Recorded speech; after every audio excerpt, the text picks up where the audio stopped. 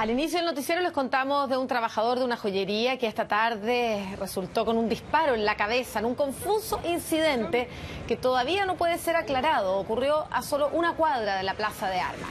Bueno, se acaba de informar que lamentablemente este hombre que había resultado gravemente lesionado, llamado Héctor Osorio Zúñiga, falleció hace solo algunos minutos en la posta central. Carabineros está investigando este confuso incidente porque hay dos versiones. Según testigos, habría sido un cliente de la joyería con el cual discutió este hombre, quien finalmente le habría disparado en la cabeza.